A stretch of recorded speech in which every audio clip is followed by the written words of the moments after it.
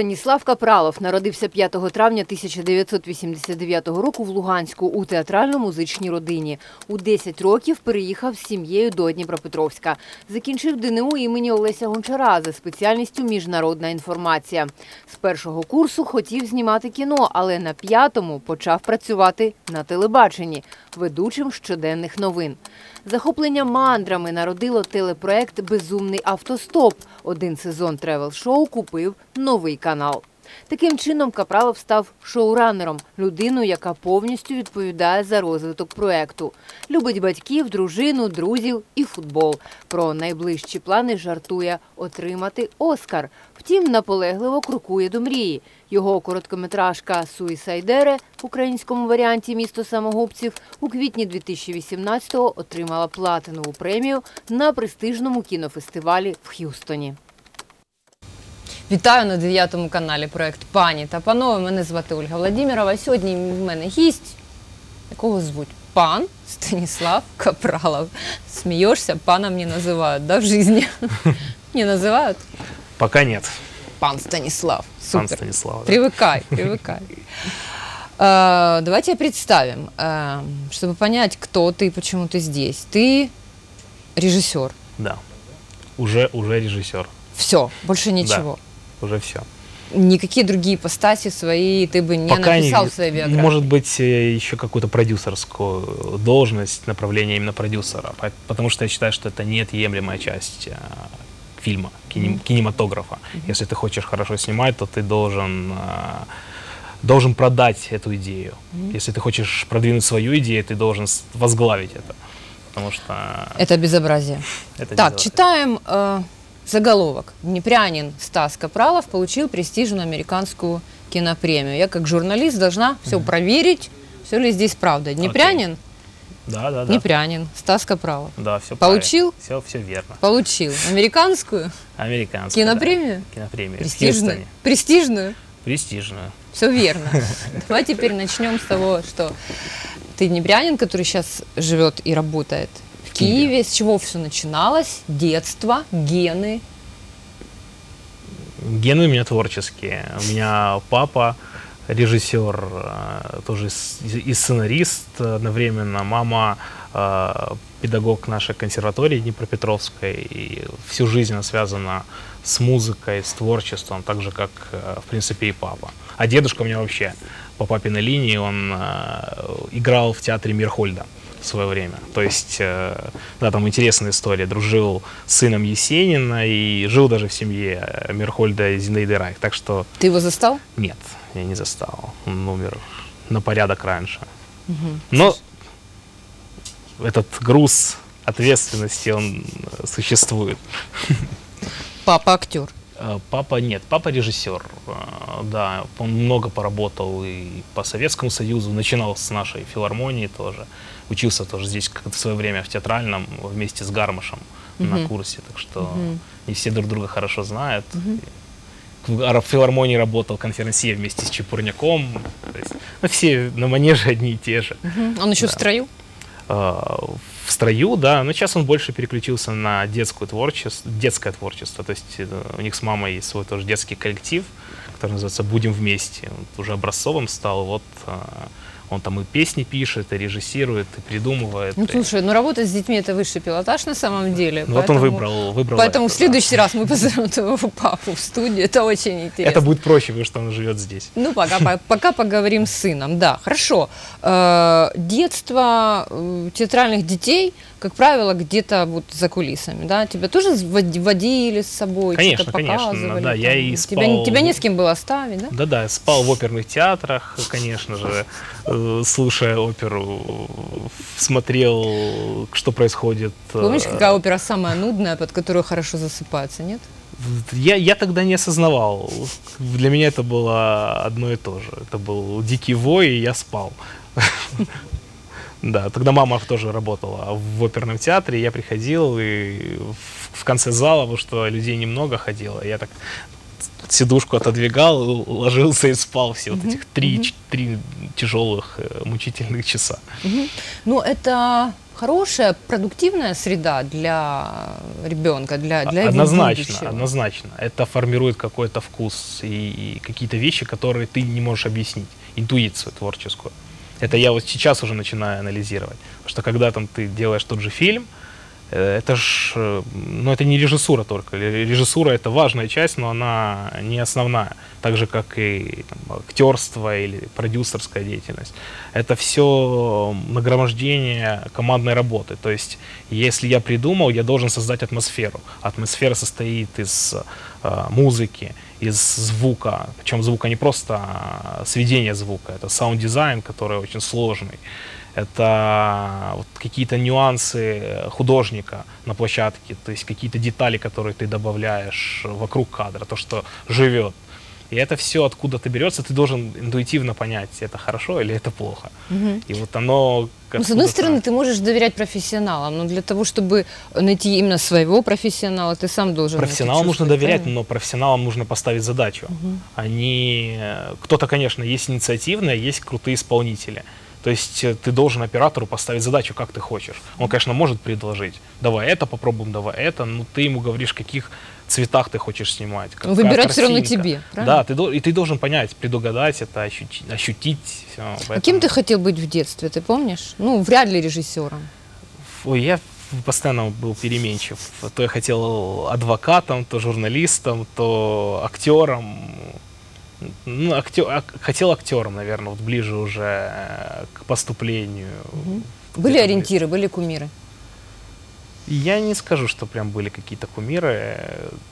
Были проекты, которые будоражили, которые вдохновляли, но вот прям, чтобы я фанател от какого-то конкретного актера или режиссера, нет, я, я не скажу. То есть не Брюс Ли, Нет, нет, такого, так- такого не было. да. Так бы я хорошо дрался, был бы в хорошей спортивной форме. а ты в плохой? Ну, я просто скрыл все широкой футболкой. Такие уже секреты пошли. Окей, в детстве э, были какие-то театральные кружки, может, тебя привлекали куда-то, как-то, Да, вот конечно, я как-то родители детство. направляли, или да, же заставляли. все да, как, да, да. как трава, як, Я як трава при легкой атлетикой и играл в футбол во дворе, и для меня было А ужасно. говоришь, плохая форма. Ну, Ну, это же было в детстве. Э, Ужасно мучительно, когда меня заставляли идти в детский коллектив, который тогда только был создан, вот ему уже там 20 лет, по сути, если не больше. И я Это там- тот самый, который Да-да-да, щас тот Образцовый? И Мгм. я там и пел, и какие-то театральных э, зарисовках участвовал. То есть... то есть не э, очень нравилось на самом деле? Или было просто нет, сопротивление, были- потому что лишали было интересно. свободы? Мы постоянно путешествовали, мы постоянно что-то делали новое, веселились, то есть общались. Такая коммуникация была творческая. Нет, это все полезно. И сейчас я понимаю, что я, я разбираюсь в этих направлениях. Я не, не знаю, как это сделать, я не знаю, как написать музыку. То есть я в свое время отказался от фортепиано, сказал нет. И мама сказала, ну, слава богу, потому что это были муч- му- был мучительный год, когда я За что занимался. спасибо родителям сегодня можешь сказать? Да за все, за все, что есть, потому что э, если бы не они, то, наверное, я, у меня было, было бы совершенно другое воспитание и какие-то качества. Ну, строгие были? Или ну, я бы сказал, справедливые, правильные. Но они точно не, не из таких радикальных, когда... Через колено не спать, ломали. Спать 8 часов, да, не поешь, не пойдешь гулять. Нет, достаточно дем- демократичный, но все было в меру. Я, Ты один в семье? Да, я в семье один. а на кого ты больше похож? Как тебе кажется? На бабушку я похож внешне, да. По маминой линии? По маминой линии, да. Не на того дедушку, который Вот умер смотрит, да? наверное, улыбается и радуется, что Ей, я это сказал. ей приятно сейчас. Ну, это же правда, наверное, все-таки, да? Да. Хорошо, с детством понятно. Потом ты поступил э, на факультет журналистики, Да. по-моему, да, все-таки? Да, на- Не пошел в театральный, не Нет, меня не пошел. пустили. Да, я хотел, ну я, Бабушка? Да, бабушка нас тогда взяла бразды правления, она такая организатор по жизни. То есть та И самая вот. бабушка, на которую ты похож? Ну да, но, не- но не всем. Я, мы говорили про внешность. Да.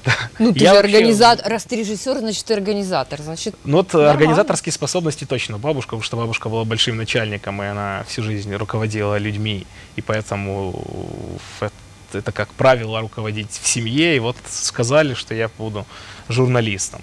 Но я на самом деле не расстроен, это были очень легкие годы. Это- Легко было учиться? Да, это все просто было как-то вообще не напрягаясь, хорошие отношения со всеми.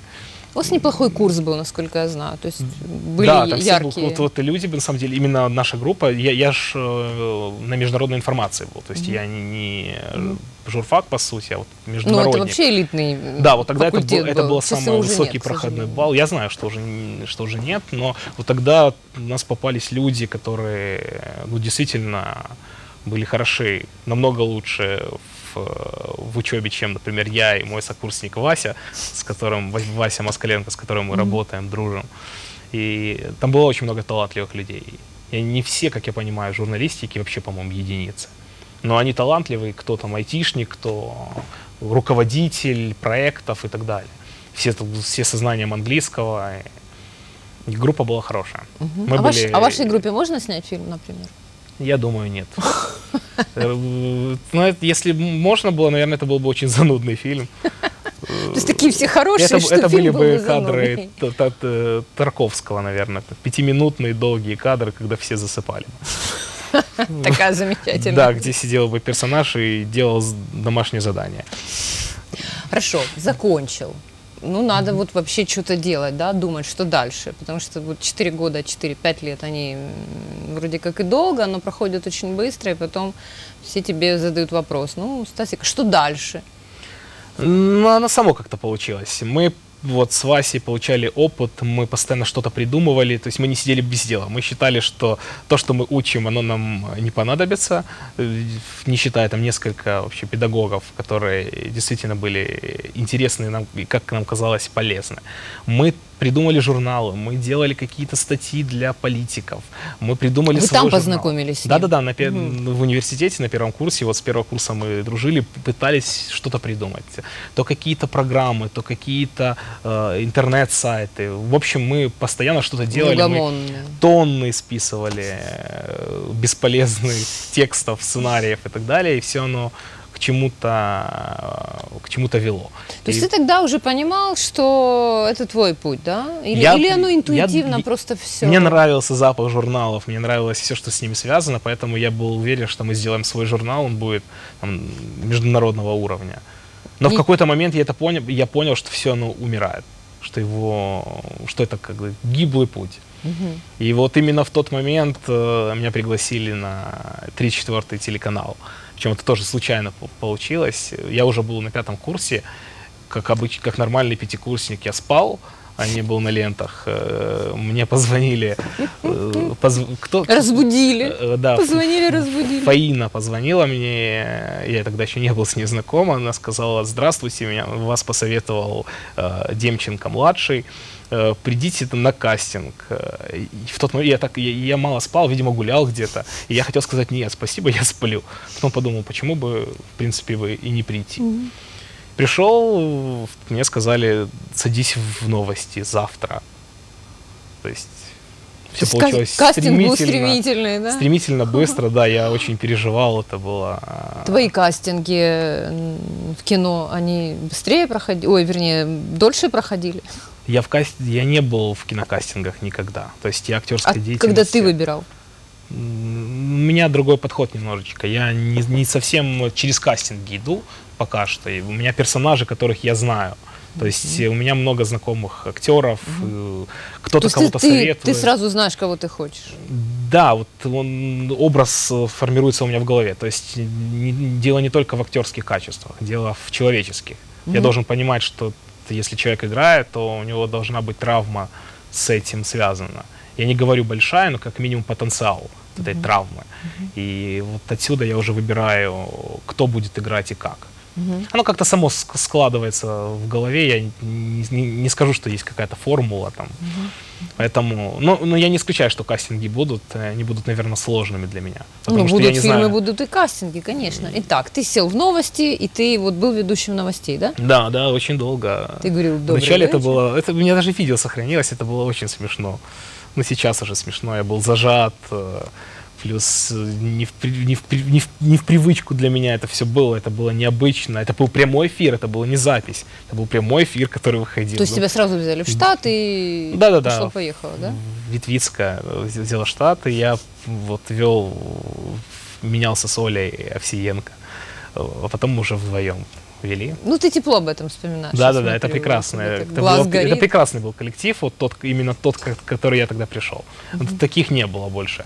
Вот дальше уже, скорее всего, это была какая-то семья, все люди, они были прекрасны. Конечно, были конфликты, но это все было очень Ну, интересно, весело. Творческая семья. Мы это- там ночевали, мы на хорошо. канале, мы вместе отдыхали, гуляли, и у меня только дружеские отношения. То есть все, что дальше было, это уже, скорее всего, вот какой-то опыт выживания среди людей.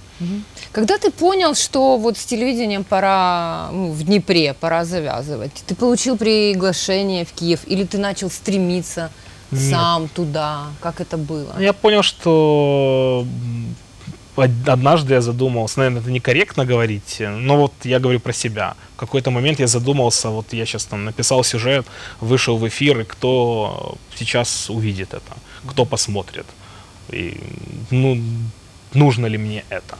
Хочется ли Ты перерос именно? это. Да, да, да. Мне показалось, что мне уже неинтересно, и вот та аудитория, которая есть, и то, то что я получил, мне ста- Ну, тесно Почему было. некорректно, нормально, если ты честно признаешь то, что ты уже здесь исчерпался, то ну, надо, наверное, уходить действительно, чем, чем продолжать эту да, шарманку. Вот чтобы, Ну, чтобы, это честно, это нормально. чтобы не засохнуть. Вот. И в тот момент, хотя было все Не достаточно... покрыться нафталином. Не- ну, наве- наверное, да. Ну, просто бы реализовать какие-то мечты, планы, они большие, и, и тогда были. И я не, не совсем понимал, куда идти. То есть я не, кино в голове у меня давно, всегда. И какие-то телевизионные программы, и ведущий, и актер. То есть вот все оно было, и потихоньку с годами по одному отсеивалось. Вот там я больше не хочу, к примеру, актерства, я не хочу э, быть ведущим. То есть я все это попробовал. Все попробовал и пришел к тому, что конкретно это режиссура, это какой-то шоураннер, скорее всего, модное слово сейчас в Америке. То есть человек, который организовывает все, и он и режиссер, и продюсер, и сценарист, и может... Многостаночник. Да-да-да, вот тут в- это очень э, сейчас популярно в Америке. Потому что когда человек контролирует все, все свои мысли, все свои планы, но есть шанс создать что-то интересное, что-то близкое к искусству. Ты авторитарный руководитель?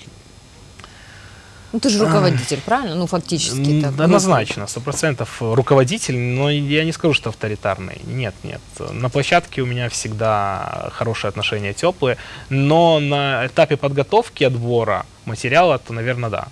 Поэтому мне сложно работать с кем-то в творческом дуэте, особенно если мы на разных э, волнах находимся.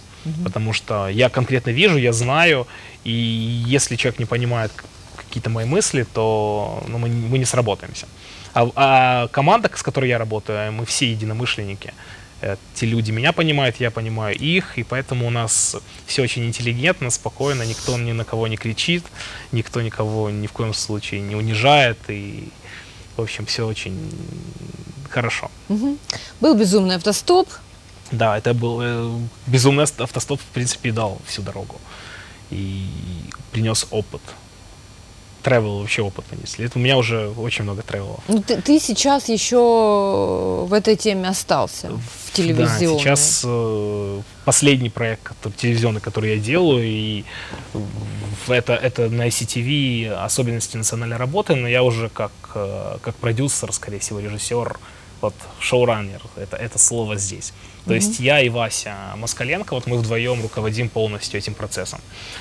Э, уже несколько лет, это уже четвертый сезон, вот только что буквально я там, две недели назад вернулся с Латинской Америки. Что, И живой. да, И не живой. сидел в тюрьме там. Нет, в тюрьме там не Нет? сидел. Сидел только в Ватикане. Что? В Ватикане? В Ватиканской. Я думал, вы знаете, вы Нет. раз так сказали. А, ну, как это было? Когда-то, когда мы снимали «Безумный автостоп», он же был безумный, мы с Васей вместе выбежали на месте к Папе Римскому с велосипедом, розовым велосипедом, И нас потом на 7 часов посадили в Ватиканскую тюрьму, заломали спецназовцы. Конечно, мы не, не добежали к Папе Римскому, и мы на это на самом деле надеялись. Потому что... Надеялись не добежать? Надеялись не добежать, конечно. Ну, там снайперы, вся улица. все гораздо э, хуже, да. Вся площадь э, фанатиками. Да, мы с- с- в 5 утра пришли на мессу, чтобы быть в первых рядах. Ну это же срежиссировано было, правильно? Забег с велосипедом. Ну, нет, мы выбежали, перелезли через забор и побежали к Папе Римскому. Нет, это была импровизация. Нас Да. заломали быстро очень, отвез- отвели в э, Ватиканскую тюрьму, такую очень аккуратную, чистую, посадили, допрашивали, сняли нас петли, потому что мы бежали туда, чтобы звук был, наши операторы снимали это все.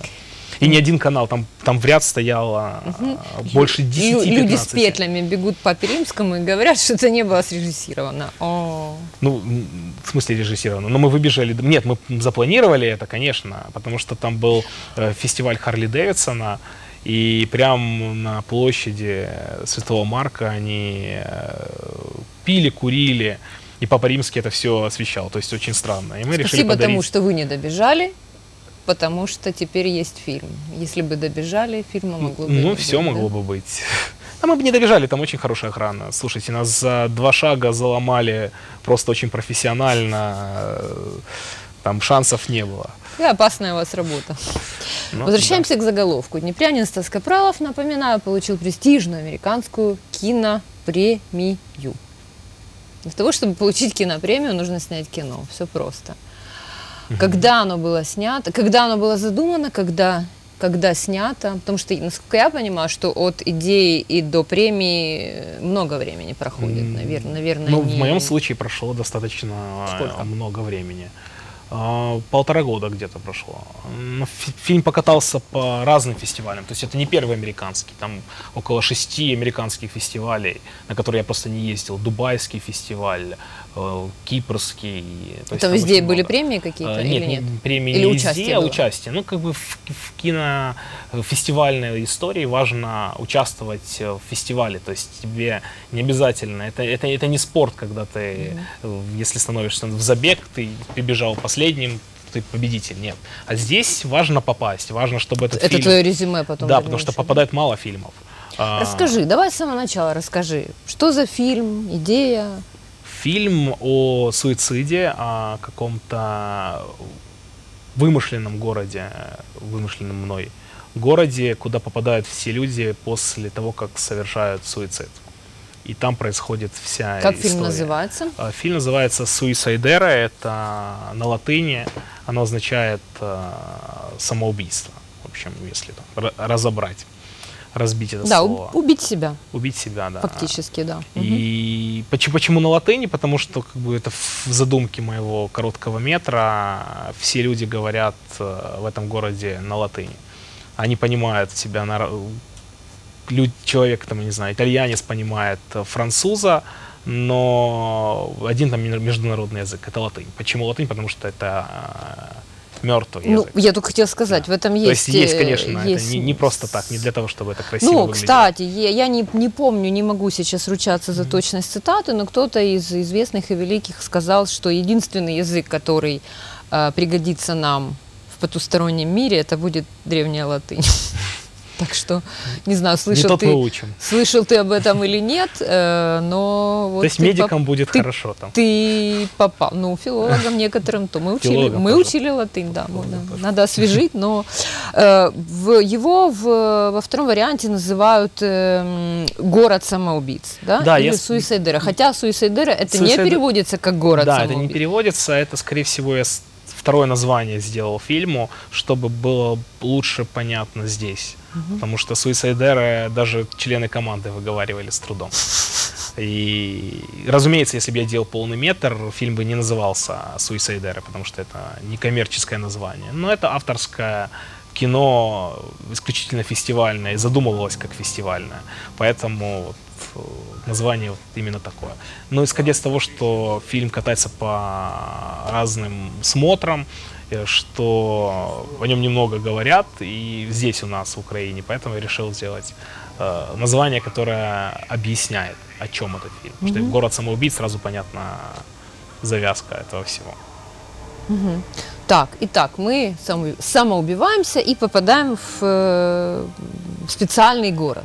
Такая, это, город, такая, да, это такая в в резервация, или котором что, человек- это гетто, что это такое? Это не гетто, это некий город, где каждый самоубийца получает наказание. Это наказание не физическое, не какое-то там э, жестокое, это наказание психологическое в первую очередь. И э, человек, который отбывает там свой срок, он э, в следующей жизни постарается не повторить свой поступок.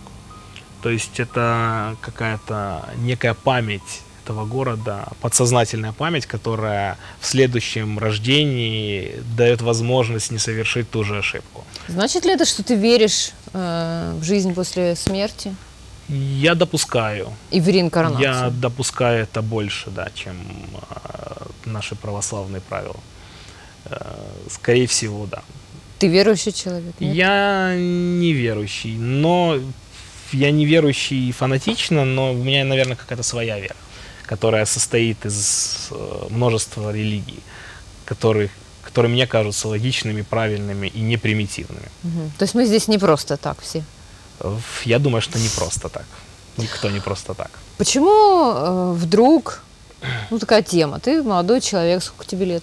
29 уже. 29, еще даже не 30, да, и я думаю, что большинство из нас проходит для себя тему, ну, как минимум, э, в обсуждении, в размышлениях, в настроениях тему самоубийства где-то там вот в переходном возрасте, да. Я думаю, что большинство подростков проходили этап «вот я умру, и вы все попляшете, да, а я посмотрю, как вы все будете плакать, да, ну, не понимая, что не посмотрим чаще всего. Э, Несчастная любовь, все плохо, жизнь кончена, да, там и так далее. Все проходили. Потом мы вырастаем, нам интересно, мы видим перспективу, мы жадно, живем жадно, да. И вот ты в 20, ну, наверное, 7, да, задумался 27. на, об, э- об, об этом. Я не скажу, да, что я прям в тот года. момент задумался. Мне Ну, всегда что-то, что-то же должно было произойти, наверное, в твоей жизни, или, или что-то должно было войти в твою жизнь, чтобы именно эта тема. Я не скажу, что прям в тот период у меня что-то произошло. Меня всегда интересовали какие-то мистические вещи, эзотерические, то, что непонятно человеку. То есть много вопросов. Я всегда с детства любопытный был. Я задавал себе вопросы, не знаю, родителям и постоянно размышлял на тот или иной повод. И мне показалась эта история э, нетронутая пока что. Она заинтересовала меня тем, что она табуирована в обществе. То есть все боятся говорить об этом. Все. Кстати, давай вернемся к твоей журналистике, да? Э, ну, ты был ведущим или ты делал сюжеты тоже? Я делал, репортер? я все делал. Я и журналистом был, и сюжеты Вот одна из, делал. одна из самых эм, спорных всегда в журналистике тем это именно самоубийство, потому что э, зритель, ну, не могу сказать, любит, да, э, но всегда очень остро и ярко реагирует на темы смертей в новостях и э, самоубийств в том числе. Но при этом мы все понимаем, насколько это щепетильная, деликатная тема. Да? Если мы выезжаем на самоубийство, мы понимаем, что мы затрагиваем не только вот э, эту историю, а есть еще много родных, друзей, родственников, да, которым может быть не, неприятно вмешательство посторонних совершенно людей, при этом не полиции, не медиков, а журналистов. Да? То есть мы это все обнародуем, делаем достоянием масс. Вот как, как ты как, как журналист относился к этим темам, и как ты к ним относишься вот сейчас на самом деле? Ну, Нужно сейчас- ли это показывать? Если это нужно показывать, то журналисты должны быть компетентными в этом вопросе. А в основном как это происходит? Э, Приезжает журналист на съемку и говорит, что вот все понятно, человек убил себя, потому что его бросила жена. Ни черта непонятно. И все коллеги, они должны запомнить раз и навсегда, что они, значит, некомпетентны, если им кажется, что это понятно. Потому что жена уходит от миллиона людей в этот день, но они не убивают себя. Это ряд комплексов, причин, которые тянутся с детства.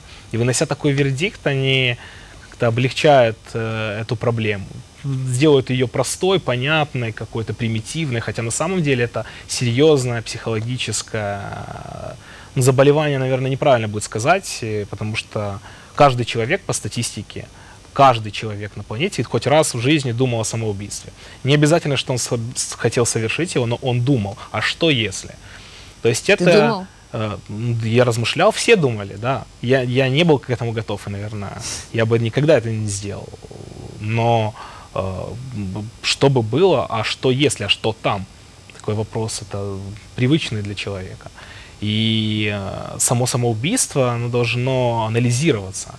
Есть такой э, суицидолог, психиатр Майнингер, э, и вот он э, советует вообще с детства изучать, то есть учить детей в школе. И я, я с этим согласен на 100%, потому что человека нужно научить самоанализу. Чтобы он не убивал себя, он должен уметь анализировать э, свое детство, свои травмы. А у нас люди обычно не готовы принимать свои слабости. И их не учили никогда этому. И Но по- они чаще всего даже не понимают, что это не травмы. понимают, почему. Они видят стену впереди, вот перед собой, видят проблему и думают, что это конец. Но если человеку с детства рассказать, что ты не один, ты не первый, у кого стена перед глазами, ты у тебя вот так вот и так вот, попробуй проанализировать. Ты там один в семье, к примеру, что у тебя, что у тебя болит, почему тебе так кажется, почему ты, я не знаю, там, ненавидишь э, каких-то людей определенных. У тебя дети есть? Э, Детей пока нет. Но будут. Ты будут. будешь с ними говорить на эти темы? Обязательно. И не только на эти темы. С детьми нужно вообще говорить, и нужно объяснять, и э, научить анализировать и себя, на- анализировать других. И это, это самое основное, я считаю. Не, не, не напихивать бесполезными знаниями, как привыкли в- по советской школе, засунуть как можно больше каких-то знаний из математики в мою голову, которых я не знаю, которые мне вообще не нужны потратив кучу времени. Да, жить нас не учат в школе. не это, учат, это правда, не учат. да. И вот исходя из этого у нас очень много проблем. И вот эта тема самоубийств, она очень деликатная, она очень сложная. И, но об этом не говорят. А ты общался с людьми, которые пытались совершить самоубийство? М, Ну, как общался? Я разговаривал с людьми, которые размышляли по этому поводу. Я не, не говорил с э, теми, кто был прям на серьезной грани. Э, я больше читал научных работ и разных психиатров, суицидологов, и там очень много примеров интересных которые приводят. Я сейчас не буду приводить, потому что это дол- долго. Ну, кому говорить. интересно, тот Да, э, почитает, да, Майнингер тему. да. прекрасно. «Война с самим собой», вот книга, которая отлично э, объясняет эту тему. Ну вот в православии самоубийство это очень тяжелый грех, да, и э, судя по сюжету твоего фильма, ты не называешь это грехом, но ты, ты считаешь это чем-то, что должно быть наказано, что должно быть, Я- э, ну скажем так, перевоспитано, да, что ли, что был, Никто должно- не знает, должно- что есть грех, и мы никогда не знаем. Ну грех это тоже набор звуков, да, Ну, такой вот. ну, Набор грех. Правил, которые грех? определили люди, а люди по своей природе примитивные, поэтому Ну, эти то есть, коль, коль, твои, коль твои персонажи попадают в этот город и должны получить там некий урок, Наказание, чтобы урок. так больше не Вот. делали, да, то значит ты считаешь, что это что человек не имеет права э, лишать себя жизни. Человек может, конечно, волен сам распоряжаться своей жизнью, но э, не хотелось бы, чтобы человек допускал ошибки. Это ошибка. Я бы считал, назвал это просто ошибкой. И наверняка где-то там никто не знает, что происходит там и как там находится. Это фантазия моя на тему, что будет, что было бы, к примеру. Но я считаю, что наверняка какие-то кармические проблемы оно приносит. Потому что там, если там анализировать людей, анализировать их поступки, их какие-то комплексы и какие-то совпадения, то мне кажется, что эти совпадения не- непростые.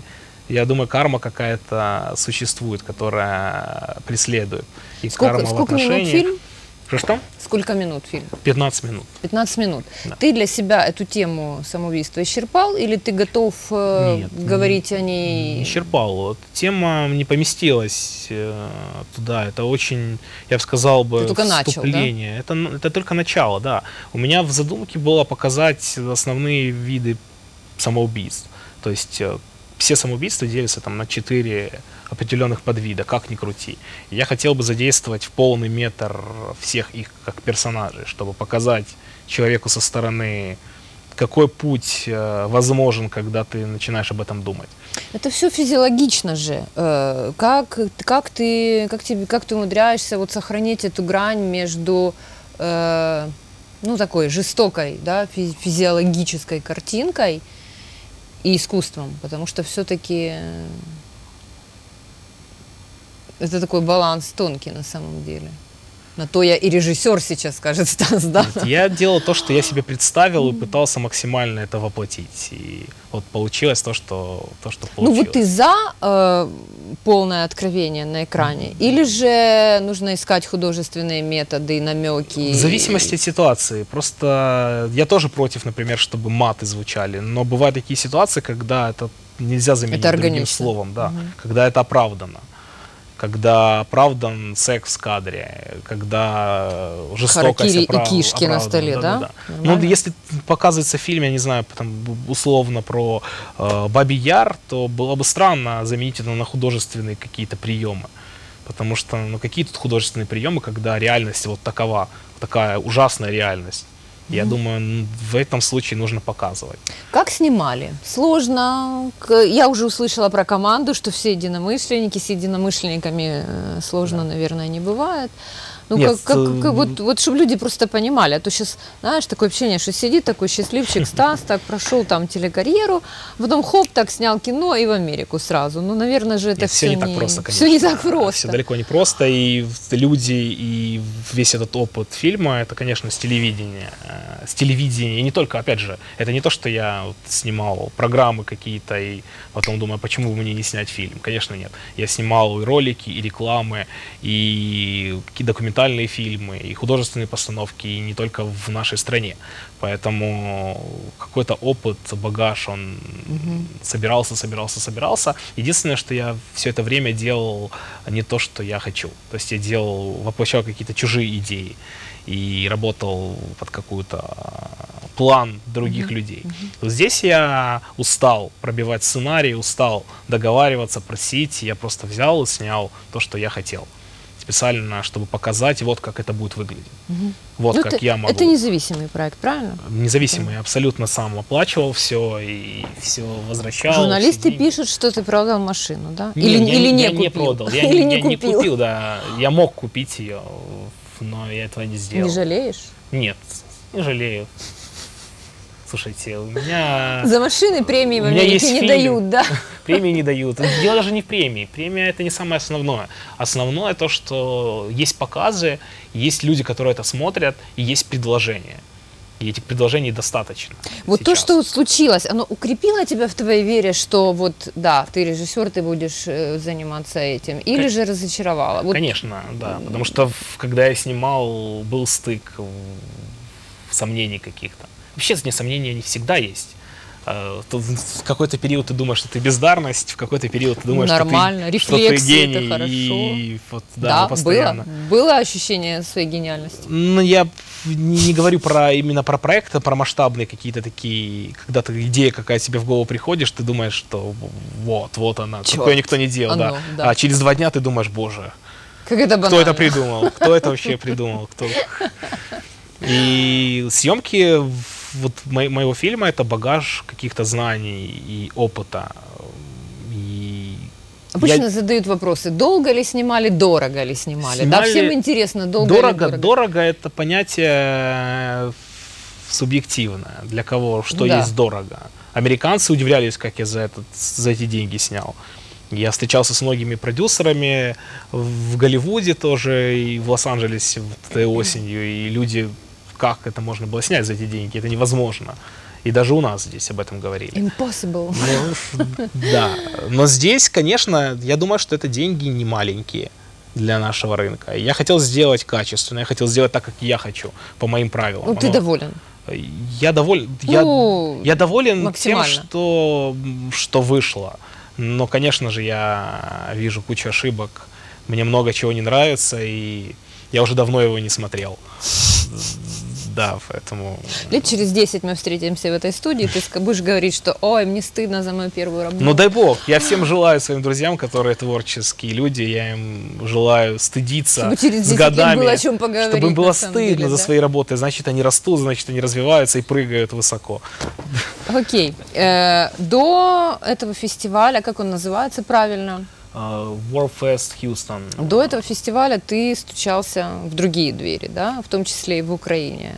Да, это Реакция была или же... Или же нет? никакой, Никакой. никакой. То есть вот взяли в программу, В- Или не в брали? Хьюстонского смысле? Или... нет, вот здесь, в Украине. В молодость не взяли, да? Нет, молодость как раз взяли. Взяли. В молодости он принял участие, ничего не получил, что там были достойнее соперники. Ну, поучаствовал, хорошо. Да, он поучаствовал. Э, На Одессу его не взяли, э, потому что там были достойнее соперники. И поэтому вот... Ну, Может, оно и к такой лу- может, оно и к лучшему. захудалой капиталистической Америки покатался и был оценен там, а не здесь. Вот. Кто, кто конкурировал с тобой? Ты, ты вообще... В- в Хьюстоне? Да, видел, что там делают люди, смотрел? Да, это вообще, это смотреть? вообще специфи... Да, я, я почти был на всех скринингах, которые просто мог посетить, потому что там п- параллельно много было залов, много показов, и ты просто выбираешь жанры, направления и идешь смотришь. Я очень много отсмотрел. Там были достойные работы. Коротких метрах мало, как по мне, достойных. Э, Очень там мне понравилась тоже одна девочка, которая уже в Нью-Йорке давно живет, э, выходка из России. Вот у нее очень талантливые были работы, очень талантливые, но ее не оценили тоже там должным образом, как мне кажется. То есть э, получили премии более слабые фильмы по сравнению с ее.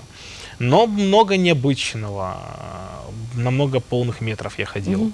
Инте- Интересный фестиваль. Он, э, как его называют, э, окно в Голливуд.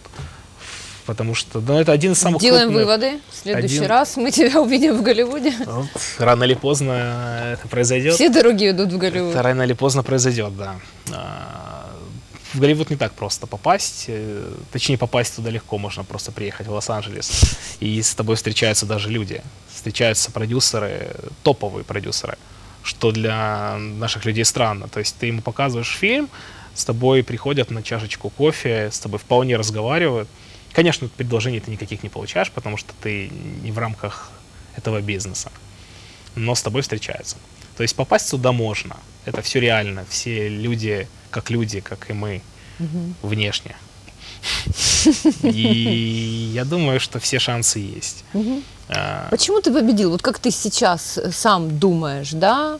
Э, ты был в тренде, ты чем-то зацепил. Вот, вот почему ты? Почему, вернее, не ты, почему твой фильм? Понятно, что не оценивали не тебя лично. Я думаю, что там просто есть история. И я много фильмов видел, э, коротких метров я имею в виду, и мало в которых в каких есть э, история, которая начинается и заканчивается. В основном это какие-то зарисовки, э, подумайте, а-ля умные. И, наверное, поэтому, что есть история, она сложная, она длинная, то есть э, я очень много описал за эти 15 минут. Это было трудно, сценарно трудно, то есть там сценарий месяц, по сути, писался, переделывался раз 15, наверное, мной. И вносились какие-то корректировки, наверное, поэтому. Ну, плюс, конечно, какая-то эстетика кадра, потому что я люблю визуализацию. И А кто меня- снимал? а, Оператор э, Женя Усанов, а, киевский оператор, очень талантливый, тоже молодой. И вот мы с ним нашли прям такой тандем у нас получился. То есть он понимает, что я хочу, как, и стилистика его очень... э, Вы совпали. Очень, очень близка, да. И он деликатный достаточно человек, что тоже немаловажно. Что тебе говорили э, вот после того, как ты победил? Какие-то были комплименты, какие-то оценки? Да, ну, всем, неформальные. всем очень нравилось. Всем очень нравилось, и я показывал какие-то другие даже работы. Я снял еще один такой как, как короткий метр, который вот сейчас скоро начнется с- начнет тоже кататься по фестивалям. Людям нравилось, ко мне многие подходили, и э, много очень знакомств.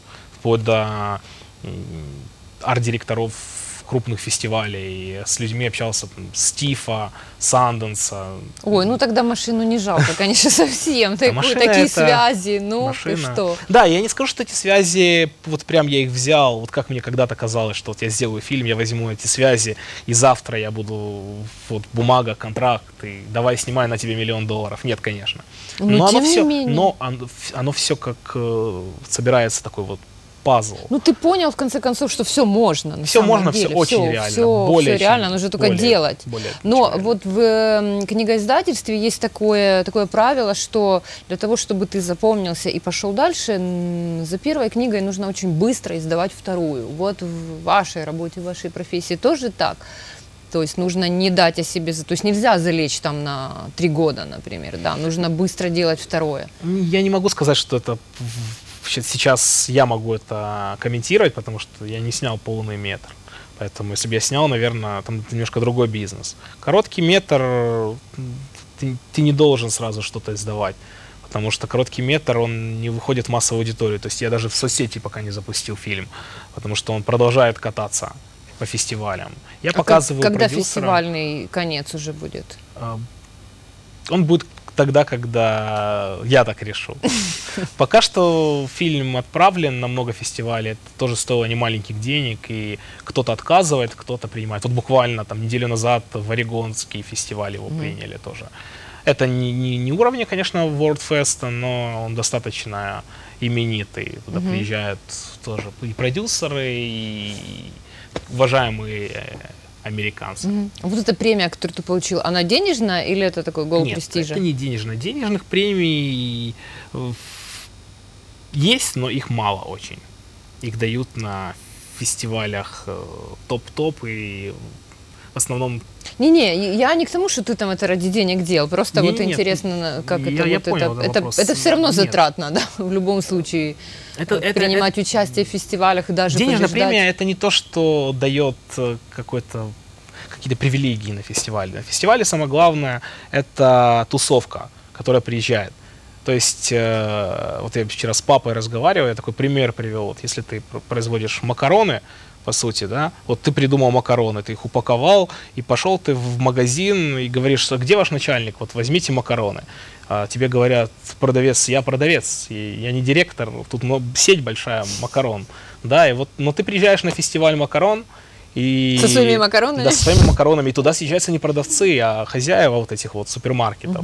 И они сидят, и ты им варишь эти макароны, даешь попробовать. И они говорят, о, слушай, класс, мы берем твои макароны. То есть так поступают продюсеры, так работают э, дистрибьюторы, без которых невозможно. То есть твои макароны никому не нужны, если их на полку не поставят. То есть так, так и с фильмом. Ты должен его показать. Ты отправляешь его в соцсетях, а он умирает где-то, что никто его не смотрит. Сценарий твой никто не читает. То есть нужны какие-то контакты, какие-то связи. И вот фестиваль именно для этого и нужен. Что ты на равных общаешься с человеком совершенно другого уровня. Ты с ним за стаканом, за бокалом виски э, вполне скажешь, вот посмотрите мой трейлер. Он, ну класс, отправь мне, вот, вот мои контакты. Вот, если что, напиши, что ты такой-то такой, это класс. То есть это рынок, по сути. У тебя хороший английский? Ну, ты общался на английском с ним? Да, я, ну, он несовершенный, конечно, но в Ну, плане б- бесед и в понимания он доста- мне достаточно пока что. Что дальше? Будет еще короткий метр? Ну, я думаю, что пока что я не хочу снимать уже короткие метры. Я снял еще один, совершенно в другом жанре, э, больше связан с живописью. Называется «Я е иллюзия». И он э, в жанре сюрреализма, таких оптических иллюзий. Я э, вообще живопись люблю, и вот оптические иллюзии – это один из моих любимых жанров. И я попытался сделать фильм, который повторяет какие-то картины там, Дали, Гилберта. Ух ты, здорово. И такого никто не делал никогда, я не знаю, как он. Он, он специфический, ну, как, как и сам сюрреализм, по сути.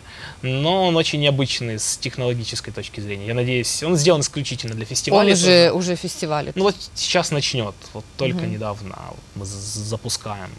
И он очень любопытный с технической точки зрения, он на очень самом- сложный. На самом деле это же ну, немножечко обидно, когда ты делаешь нишевые такие вещи да, для узкого круга людей. Ты говоришь, вот я сделала его чисто для фестиваля. Ну, тебе хотелось, я понимаю. Ты всегда делаешь то, что ты хочешь, да? на Ну да. сейчас уже, сейчас ты созрел.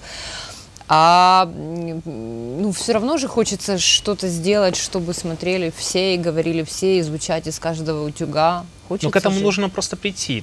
Это не сделать в коротком метре. В коротком метре ты должен получить авторитет какой-то. А в советское время были очень популярные грузинские короткометражки. Их смотрели все обсуждали все. Мгм. Значит, можно? Нет, возможно, конечно, но оно не дает э, какой-то большой толчок. Это как э, твоя заявка, твой, твоя, твой пример, вот что я могу перед большими людьми. Потому что у них нет времени читать твои сценарии. Есть, конечно, но когда отправляют миллионы людей, чем еще без привлечения, ну, попробуйте прочитать э, такое количество сценарий, понять, что талантливо, что нет, где что-то новое, а где нет. А фильм какой-то твой короткий метр, он- человек просто так вот посмотрит на фестивале, и он может сделать тебе предложение. Кино в Украине можно делать? Можно, конечно. Его можно делать даже в Зимбабве, где угодно. Другой вопрос, какого оно уровня пока что. Чего тебе хочется для украинского кино? чтобы э, украинский рынок действовал по законам бизнеса нормального, нормального, цивилизованного. То есть, если ты за 10 гривен снял, то попытался как минимум вернуть назад эти 10 гривен или заработать, а не снять за 100 гривен, а получить 2 гривны. То есть, я надеюсь, что мы к Но этому Ну, пока идем. сейчас этому мешает э, отсутствие людей, которые Честности. работают... Честности. Да. То есть нас- Честность, отсутствие честности этому мешает. Но есть люди достойные, которые пытаются хоть как-то перевернуть. Их немного, которые пытаются действовать по законам какого-то э, мирового бизнеса. Конечно, это все сейчас очень примитивно, очень примитивно пока что. Ну, то есть я вообще считаю, кто- тоже когда-то меня кто-то брал интервью, и я сказал, что вот украинское кино это как вот э, зародыш, то есть это как это еще в животе матери находится. И все вроде нормально, направление выбрано, но никто не знает, что из этого получится и куда оно приведет, каких людей этот ребенок встретит и э, как- как- куда он доберется. Поэтому все очень перспективно, как по мне, но еще далеко.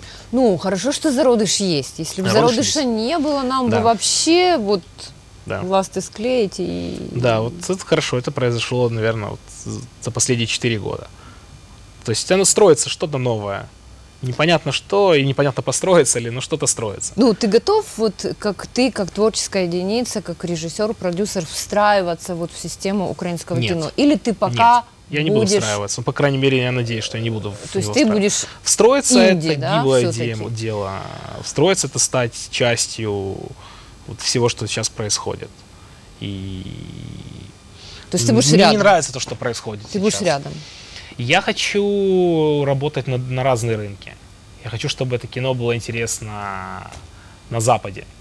Я не говорю сейчас о том, что это кино возьмут, посмотрят, он соберет там большие кассы в Штатах. Да, это не все сразу. Но вполне оно может э, показываться в Польше, в- во Франции, в Германии и в каких-то там небольших показах э, в Соединенных Штатах тоже. Вот Для нужно первый, на- первый твой фильм, он понятен в любой стране? Да, любой. Его видели разные люди. Вообще разные. От индусов до арабов, э, американцев. Но больше всего он зашел в Америке. Ну, это, это понятно на самом деле, потому что я люблю э, американское кино. Оно ну, номер один. И они это честно. почувствовали. И Не думаю, просто я ориентируюсь на сюжетные линии, на динамику, на картинку и так далее. Поэтому, наверное, оно ближе туда. Хорошо, до встречи давай не через 10 лет, чуть раньше, и чтобы ты гораздо быстрее сказал, что тебе стыдно за свое первое кино, да? Да. Потому что уже есть много, надеюсь, новых, как. много новых и классных. Спасибо тебе большое. Спасибо вам. Успеха твоему а, детищу, и первому, и второму. И, и давай уже третье, Все будет. Да. Спасибо. большое, полнометражное. Всё за, будет, будет. За это. Давай, Да. выпьем водички. Ура. Ура! Це був Станіслав Капралов, е, режисер, продюсер, е, в минулому журналіст, в минулому студент, Сын. син, онук. Е, Хлопець із Дніпра просто, який зробить йому славу рідному місту, я так думаю.